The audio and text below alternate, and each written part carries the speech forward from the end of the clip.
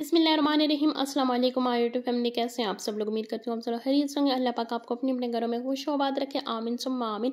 तो हाँ जी, आज मैं बनाने जा रही हूँ चिकन कढ़ाई, जो बहुत ही इजी और कम मसालों में, घर के मसालों से हम मज़ेदार से चिकन कढ़ाई रेडी करेंगे। इसके लिए कोई आपको पैकेट का मसाला यूज़ नहीं करना। इजी से आप घर में जो भी बेसिक मसाले हैं, उनसे हम ये चिकन कढ़ाई रेडी करेंगे। तो वीडियो को आपने क्या करना है? फुल वॉच करना है और इन से मैं आपको डिटेल सारी रेसिपी शेयर करूँगी। सबसे पहले मैंने क्या किया है कि एक पैन ले लिया। इस एक खाने का चम्मच भर के मैंने ज़ीरा, एक खाने का चम्मच भर के साबित धनिया ऐड किया और बिल्कुल हल्की सी आँच पे मैं इनको रोस्ट कर लूँगी। जैसे ही हल्की सी खुशबू आना स्टार्ट होगी तो बस मैं फ्लेम ऑफ़ कर दूँगी और फिर मैं इनको ना दर्जा सा इनका पाउडर बना लूँगी। तो अब आ जाते हैं अपने नेक्स्ट स्टेप की तरफ़। तो इसके लिए मैंने क्या किया कि दो मैंने मीडियम साइज़ के प्याज और दो बिल्कुल छोटे से मैंने प्याज लिए अगर आपके पास ना तीन मीडियम साइज़ के प्याज है तो तीन मीडियम साइज़ के प्याज ले लें। एक पैन में मैंने कप पानी ऐड किया और प्याज कट करके ये ऐड कर दिया और इनको मैं बॉईल कर लूँगी पाँच मिनट के लिए ताकि प्याज थोड़ा सा ना सॉफ्ट हो जाए और इनका कच्चापन भी ख़त्म हो जाए।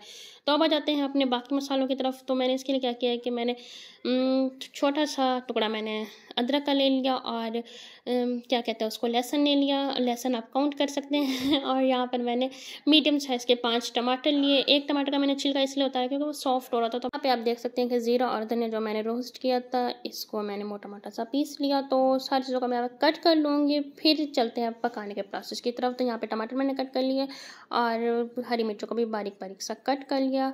और जो अदरक लंबाई में दिखाई थी, वो भी मैंने कट कर ली। वो एंड में जाएगी। और आधा खाने का चम्मच मैंने काली मिर्चें ली हैं। प्याज को भी मैंने ब्लेंड कर लिया और अदरक लहसुन को भी मैंने इनका पेस्ट बना लिया था। तो चलते हैं अब अपने पकाने की तरफ़। तो यहाँ पे मैंने कढ़ाई ले ली है लोहे की और वन के जी के हिसाब से मैं आपको बता रही हूँ। ये सारी चीज़ें जो बताई हैं डिटेल से।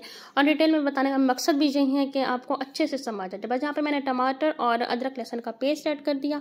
इसमें कोई पानी फ़िलहाल नहीं जाएगा, ना ऑयल जाएगा, कुछ भी नहीं जाएगा। बस टमाटर और अदरक लहसुन का पेस्ट यहाँ पर ऐड करके बस मैं अच्छे से इनकी मिक्सिंग कर लूँगी। और फिर लो फ्लेम पर कवर करके पाँच मिनट के लिए रख दूँगी टमाटर टमाटर जब पानी छोड़ेंगे तो चिकन हाफ़ डन इसी में ही हो जाएगा। तो बस यहाँ पर मैंने अच्छे से इसकी मिक्सिंग कर ली और फिर मैं इसको कवर करके पाँच मिनट के लिए रख दूँगी और पाँच मिनट बाद आपने कवर हटाना है। तो बस मीडियम फ्लेम पे मैंने पाँच मिनट के लिए कवर करके रख दिया था तो अब मैंने कवर हटाया और ये देखिए पानी कितना रिलीज़ हुआ है टमाटर और चिकन का। तो आपने पानी बिल्कुल ऐड नहीं करना, वरना फिर ड्राई होने में टाइम लगेगा और फिर चिकन का भी हलवा ही हो जाएगा। तो इसीलिए बस यहाँ पर मैं टमाटर और जो चिकन का पानी है थोड़ा सा ड्राई कर लूँगी, फिर इसमें मैं बाकी की चीज़ें ऐड करूँगी। और यकीन करेंगे इतनी मज़े की कढ़ाई रेडी होगी। जब आप इसको बनाएँगे ना, पूरे घर में इसकी खुशबू फैल जाएगी। और आप देख सकते हैं कि टमाटर भी अच्छे से मैश हो गए थे। तो बस मैंने बीच बीच में जो छिलके वगैरह सामने आ रहे थे, टमाटरों के, वो भी मैंने सेपरेट कर लिए। और अब मैं इसमें ऐड करूँगी जो मैंने प्याज ब्लेंड किए थे, वो ऐड कर दूँगी। और दो मिनट के लिए बस मिक्स करूँगी, क्योंकि प्याज तो वैसे ही हमारे पक चुके थे बॉयल हो चुके थे तो ज़्यादा उसको ना पकाने की ज़रूरत नहीं है। और यहाँ पर अब मैंने दो मिनट बाद घी ऐड कर दिया। घी आपके सामने मैंने ऐड किया है तीन बड़े वाले चम्मच। ऑप्शनल अगर आप घी यूज़ करना चाहते हैं, घी कर लें ऑयल यूज़ करना चाहते हैं ऑयल कर लें बट घी में ज़्यादा मज़े का फ्लेवर आता है, क्योंकि रेस्टोरेंट में, होटलों में ना जो कढ़ाइयाँ घी में ही बनती हैं तो बस यहाँ पर घी मैंने घी ऐड किया और साथ में ही मैंने नमक टू टेस्ट और एक खाने का चम्मच मैंने रेड चिली ऐड की। और अच्छा यहाँ पर मुझसे ना ब्लेंडर हो गया था। ब्लेंडर क्या हुआ, वो मैं आपको लास्ट में बताती हूँ मैं फिर पहले रेसिपी शेयर कर दूँ। ऐसा ना कहना रेसिपी मिस हो जाए मुझसे कोई कोई चीज़ ना। तो ये चम्मच दिखाई थी, इसी चम्मच से मैंने ना रेड चिल्ली और नमक ऐड किया है। मसाला आप अपने हिसाब से ऊपर नीचे कर सकते हैं, जितना आप तीखा खाना चाहते हैं।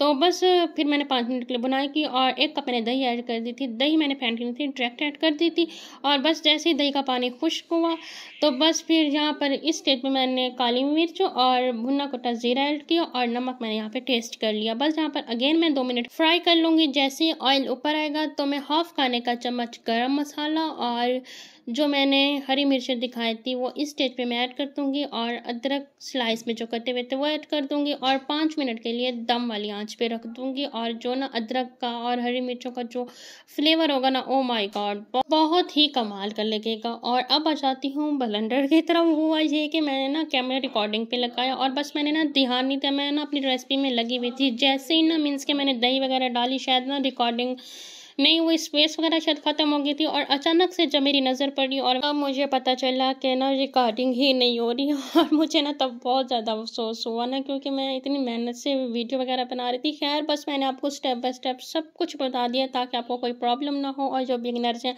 उनके लिए मैंने मयरमेंट भी मीन्स के बता दिए कि कितना क्वांटिटी में आपने घी यूज़ करना और ये वन के जी के हिसाब से मैंने बताई है और इसकी लुक चेक करें। आप बिलीव भी इतनी कोई मज़े की बनेगी ना, आपने एक बार ट्राई करनी है। रेस्टोरेंट की आप कढ़ाई खाना भूल जाएँगे। एक बार आपने ट्राई करनी और फिर मुझे कमेंट बॉक्स में लाजमी बताना है कि कैसे बनी है। तो बस आप मुझे दीजिए इजाज़त।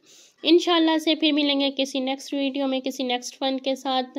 और दुआओं में याद रखना है। चैनल पर न्यू है तो लाइक कर दें सब्सक्राइब कर